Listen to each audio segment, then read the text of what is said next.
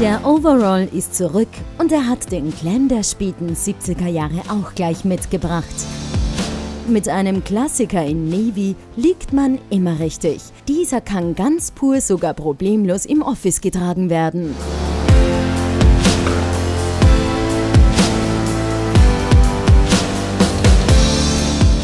Die Lurex-Variante in einem schönen Bordeaux-Rot bekommt noch mehr Kraft, wenn man sie zu einem korallfarbigen Mantel kombiniert.